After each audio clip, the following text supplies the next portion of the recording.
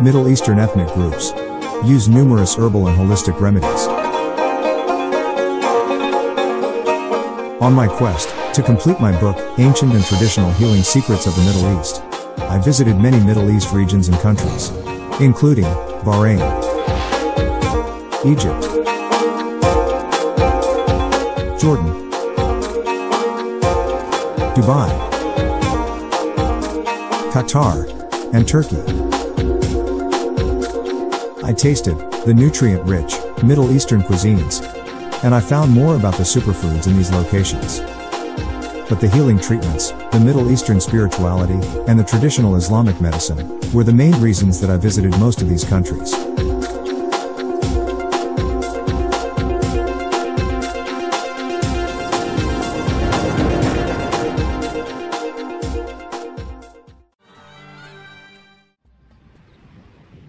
The Bahrain National Museum spans 6,000 years of Bahraini history.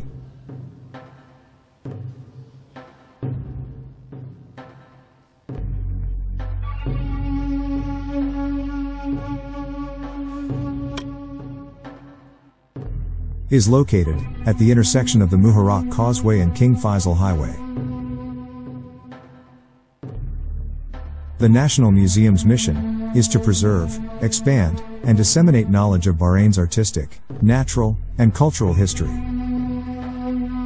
It was officially opened by Emir Sheikh Isa bin Salman Al Khalifa in December 1988. Additionally, there are pictures, models, and artifacts that depict Bahrain's earlier sources of income, before the discovery of oil. Bahrain can be fully explored in just one week. You can visit a variety of historical and cultural sites while you're there.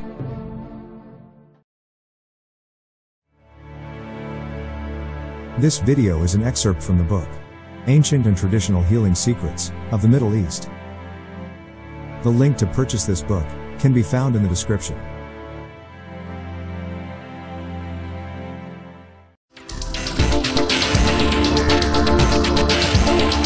My name is Mana. I'm an author, blogger, and documentary filmmaker. But besides that, I'm a natural medicine researcher. My real passion is the search for wellness. Health is everything, and knowledge of health is the most important for everyone. I travel around the world, and I explore traditional medicine secrets, alternative treatments, folk healing practices, superfoods,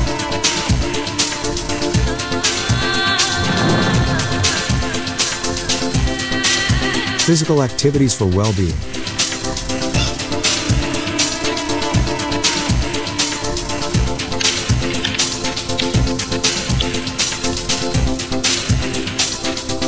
spirituality, and philosophy pathways. I'm seeking healing in every corner of the planet.